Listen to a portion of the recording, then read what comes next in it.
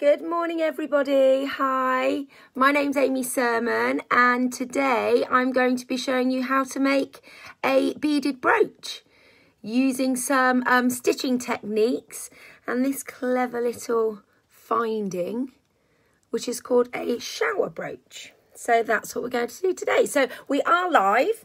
Um, I'm going to let people sign up. We're starting to get people signing up now. So we'll just give people a minute to sign up and then we'll get started. I've got everything I need ready to go. Good morning. Okay.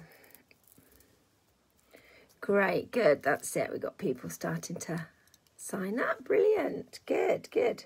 I hope that it's a bit easier to find now. I've got it on my my um, page, my shop page. Good. Uh, make sure my comments are on. They are. Yes. Hello. Good morning, Pauline. Hi. Fantastic. Good. Okay. So, as I have just said, and for those of you that have just joined us, what we are going to, good morning again. Uh, my name's Amy Surman of the Oxford Bead Shop or Amy Surman School of Jewellery. And um, I am really enjoying doing my Facebook Live videos and it's become part of my weekly routine now, which is fantastic. Good morning, Kathy. Um, yes, and so I'm just coming up with other ideas each week, things that I sell here in the shop so you can get all the materials from us, or things that you might already have the materials for at home. Good morning, Jan. Okay, so what we're going to be doing today is a beaded brooch like this. Quite a lot of work in there, isn't there? Okay, so that's what we're going to be doing today. Isn't it pretty? Right, what we need for this project is the main thing that we need that you might not have at home, but you've probably got loads of beads if you're if we're all the same, which we are. We, you've probably got lots lying around. This is great for using up kind of oddments of beads. But what you will need is one of these, and this is called a shower brooch. You can see why shower part there, okay, and then you've got this piece here, which has got these little spikes on that are for setting. All right, so that's what we need in terms of kind of the material for the base. Then what we need is a pack of beads or beads that you might have at home. So this brooch that I've made here, this has been made from a pack of tiny um, bead mixes that we've got, the spring mix. And it's good because for 170 you've got everything you need in there. Although I have added a couple of extras. So I've added in a couple of extra pearls there and I've added in a couple of extra turquoise just to bulk it out a little bit really and to make it look a little bit more luxurious because of the pearls and things in there. Um, so what I've chosen to work with today, I've got these mixes in all different colours. So we've got purple haze. That's the one that I'm going to choose, that I've chosen to use today. We've got midnight, which is lovely. Look at that. I'm going to post all this up afterwards. Blue bronze, one of my favourites. Uh, we've got the, the Goldie mix there as well. And then we've got a Tutti Frutti as well there. Okay, so we've got lots of those. We are going to get some more in. Unfortunately, I used to have a massive selection of these, but unfortunately we don't have any more and we can't get any more in, unfortunately. So um, we are going to see what we can get and make up some nice bead mixes for you all. So what I said I was going to use is the blue, uh, sorry, the purple haze mix. And if you look in these bags, there are lots of different beads in there. So I'm just going to tip those out. I've got size 11s, I've got size 8s. Can you see? Perfect. I'm sorry about that. I just knocked you all over. all right. Okay, so you can see down here. Uh, we've got all sorts of different beads. Now, the other thing that I've done is I've also added in some bigger beads that I've picked from my set of beads that I've got at the front of the shop. So I've got some little bicones, just kind of three of three different beads really, just to give me something more to play with. And then I've got a bigger one as well. So this one I've kind of, originally I was going to set it on the brooch. So this all sort of came off to the side a little bit. But I think I am going to set it so they all dangle in the middle. So that's what I'm going to do with this. But I'm going to use this piece of fluorite in the middle, which I think will look nice. So I'm going to show you some little techniques of how you thread all this up and how you stitch this together. I suppose it's really uh, bead embroidery techniques that we're doing here. That's what we're going to be looking at. We need our thread that we're going to use. So I'm using Nymo. You need about two meters of it, but it really depends on how many beads you put on. So that's that's a very rough idea. You might need more, and you definitely wouldn't need less than that because it does take quite a lot. And it depends how much fringing you put on as well, which is this here is called the fringing. You need some needles. I'm using a size 10 beading needle, English beading needle, and the only other thing you need is a pair of scissors, really, in terms of material, in terms of tools, um, and a bead mat. Bead mats are always great to use as well. Okay, now what we do to get started is I'm going to take one of my little beads from the um, set that I've got here, take it down to the end of the thread, and I'm going to tie a knot. So I'm knotting in, see I've got my bead there, I'm knotting in a little bead oh, at the bottom there. Pull that round. It's twisting a little bit. There we go. There. There. So just tying that into a knot. Just done a double knot. I'm going to do an extra knot for luck. There we go. Okay. There we go. So as you can see, I've got my little bead just knotted into the thread at the bottom. Now what I can do is if I go up through one of these holes, so you see it's you've got all the holes, so I'm going from the back, so the, the concave side is the back, going up to the front, and then when I pull that through, it holds it in place. Okay, because I've got my little bead there. So that bead sits on the back. I am going to snip that thread down just a little. All right, like so. Okay, so now what we're going to do is we're going to do what's called a stack stitch. And what a stack stitch is, is you, if you take, I'm going to take a little selection of beads. So I'm going to take some bigger ones, I'm going to take some smaller ones, and I'm just going to create a little stack there. So I've just taken three beads on there, okay? So I've got a little, I don't know, maybe that's a size um, 8, a size 11 and then a size 6. But it doesn't matter, you can use anything. Take it all the way down to here and look how that sits on the top. Can you see that? Then I'm going to take a tiny bead,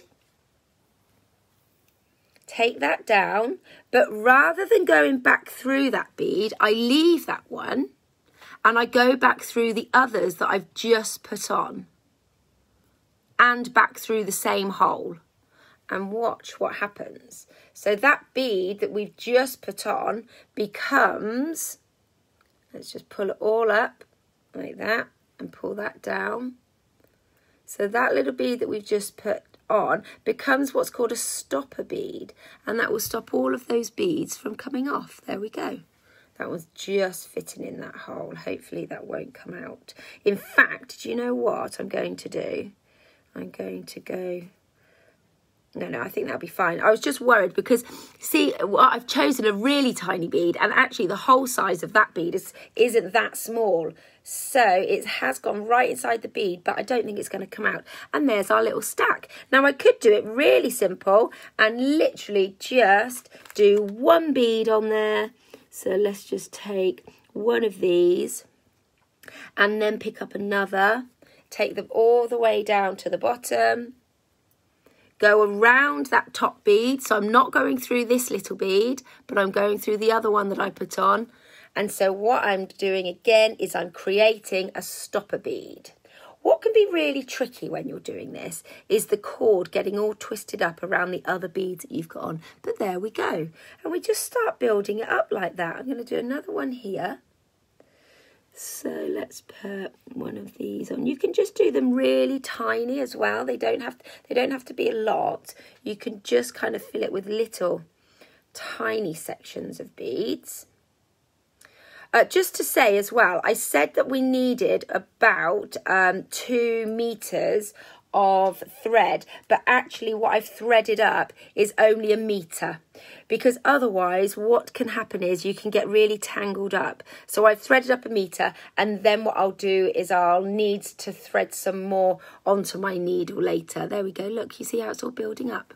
Okay, now what I would suggest to do because it can be quite difficult just kind of starting on one side and going down to the other.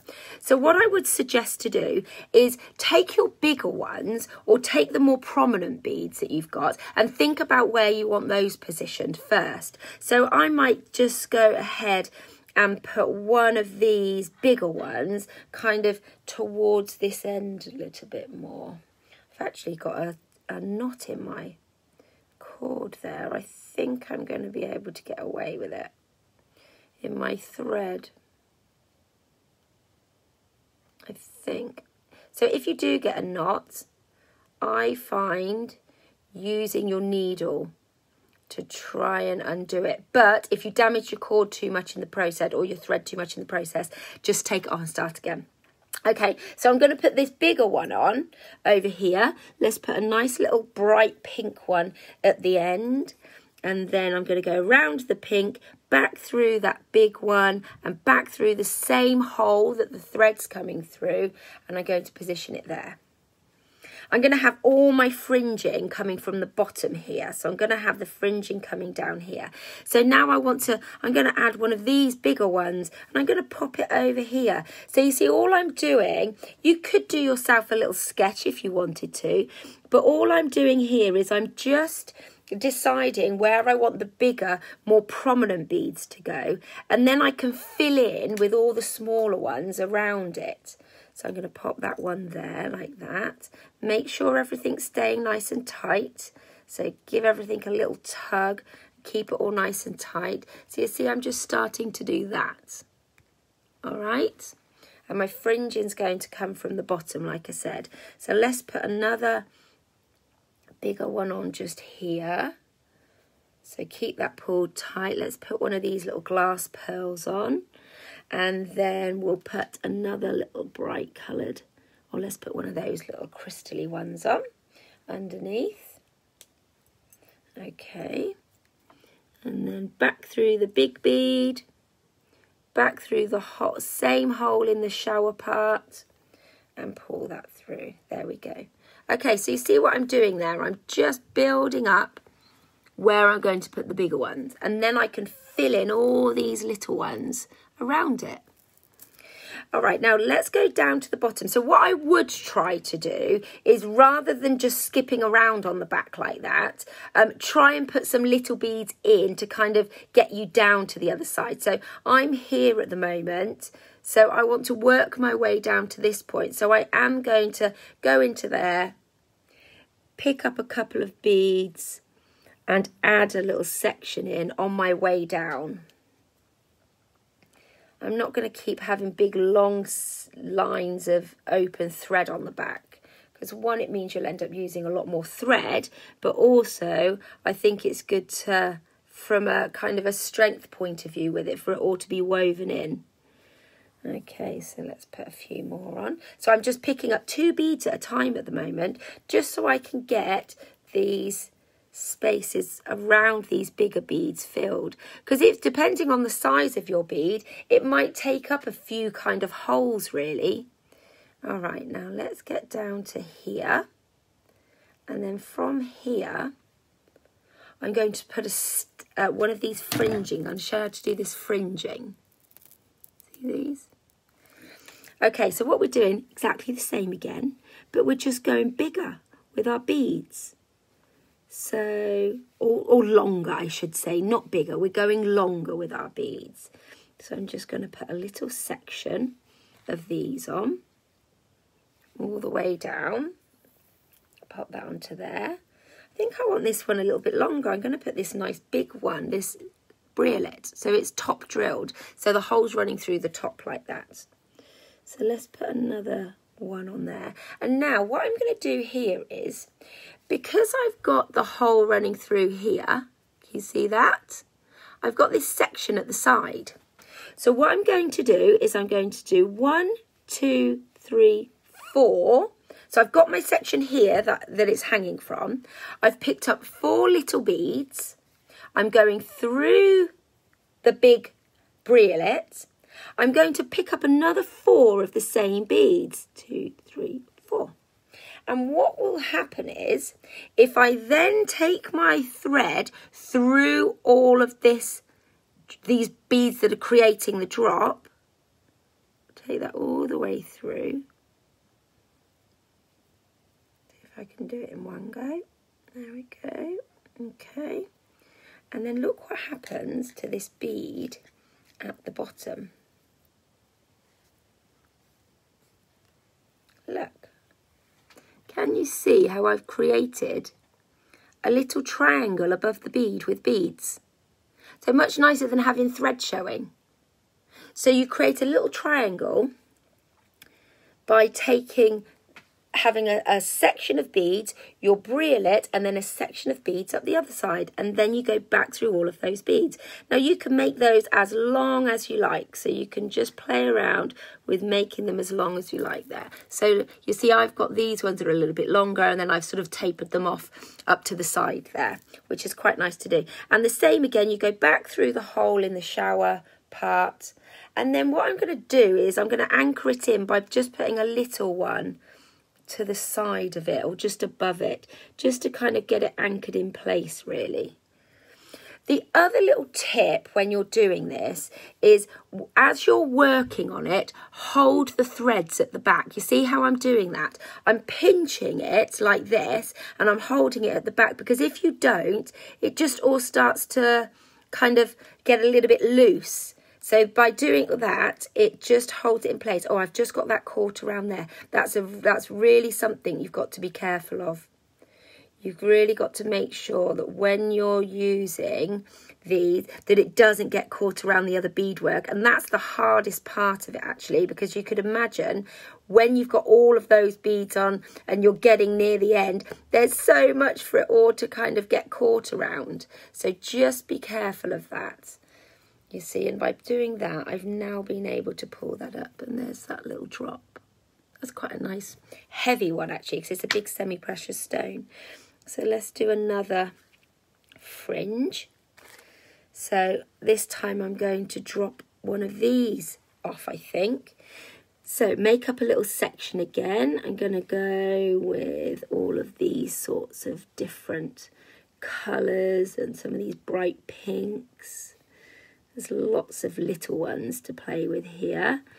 Check your length. Check that you're happy with the length of it. Remembering that you've got that to go on as well. I think that's about right actually. So that's going to finish just above that other bigger bead. Now I need a slightly bigger bead to go on the end here. So again, I put a small bead on, uh, size 11, I think that is, back through that big bead, back through all the little ones. I'm holding them. I find it easier if I hold them between my finger and thumb like that. Pull it all the way up. Lay it down on your bead mat. Hold the big bead at the bottom here, look. And then you can pull them all up through there. Hold it like that. Pull it all the way up. See, it makes it easier if you just do that. Hold it at the bottom and then go back through that hole. So now I'm going to put this pressure on the back there so it holds it in place while I get another little bead on. I'm going to go just above it, just above it there. So I would say that this is about a two hour project, maybe more, maybe two and a half hours. I did that one last night um, in probably about an hour and a half. Uh, and that's being used to doing them. So, if you're not used to doing it, maybe give yourself a little bit longer. But it's a really nice project to do. Okay, let's get a couple more on just to show you how it's all going to work. Let's do that. I'm going to put a little one of these little ones on here. Oops. Oh, there it goes. Pick that up later. Okay, and then a little stopper bead at the bottom.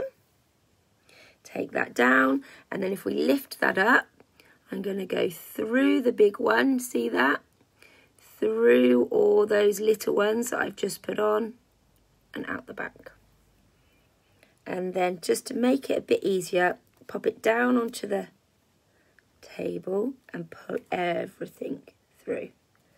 And there I've got another little fringe section. So I can just keep going with this, just keep going and just fill it, just fill it all over. So the technique is place down your bigger beads so it gives you something to kind of work around and then you're just filling it up. And if you don't like it, you can take it off. Always easier to take your needle off and then pull it off rather than trying to thread back through. Um, so this is called a stacking stitch and this is called fringing. But they look great, don't they? Look at that. Looks There's so much work in there. But what a fabulous brooch or on a bag or something.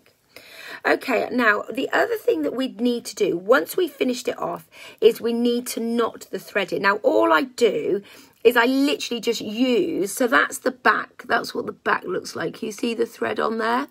So what I've done there is I've gone through it um, let's have a little look there. Oh yeah, look. So that's got all those little beads on there going through. Um, okay, so when I um, when I, what was I saying? Knotting, sorry. So when I knot the back, I'm just going to use these threads here and go underneath the thread, create a knot and pull it tight. Do that a few times, work your way around the back a few times, um, and then you can cut it off. And when you start again, if you need, when you need to put your new thread in, you're going to put one of these little stopper beads on the back again because they work really well for that. Once you've completed what you want to do, then we need to put this back on. And you remember I said that you've got those little spikes there, and that's what we use to set it. So what you will need for this is a pair of chain nose pliers or something that you can use to bend it over. I find chain nose pliers the best to use really. Be aware of where your bar is on the back and where you want the bottom to be. And then if you put that into position there, I'm happy with that. That's going to sit like that.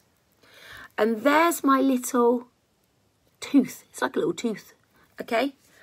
And what we do is we take our pliers, make sure you don't damage the back. So what you could do, in fact, is let's take a little tissue or stick on a piece of masking tape and just hold it onto the back because so, otherwise if you do this with your pliers you could damage the back of it and that will just support it while you then take your pair of chain nose pliers and bend it. Do you see what I did there? So I'm just, let me show you on another. So I'm just taking my pliers around the edge. My tooth is here on this and it's sitting underneath this top part of the plier there. And I'm just bending it down gently. Let's go this side. So hold it there. See, I'm bending. See what I'm doing? And then I squeeze it down. There we go. And then one more here over this side. So there's four on the back to do. Make sure it's really squeezed down. And there we go. Now that's all set. Okay, so you can see that um, it these there's no I haven't gone on top of the beads there's no beads in the way when I've pushed this top section down. It's all completely filled. I've got my nice fringing at the bottom. We're all complete. So um, one pack of beads uh, so like this pack of the spring beads that's all I've got left so a whole bag will do one project, but it is nice to have a few bigger ones amongst it as well. The shower parts, so for the complete this, the front and the back together is £2.50 and then the beads are one pound seventy, and I've got lots of others. So I can send these out to you, or you can you can now come in the shop and have a little look around, which is lovely. And uh, we've got the thread and we've got the needles. But I'm going to put a post up now for you to explain all of the materials and to put prices and things up as well. Okay, thanks for joining me. I hope you liked it. All right, take care. Bye.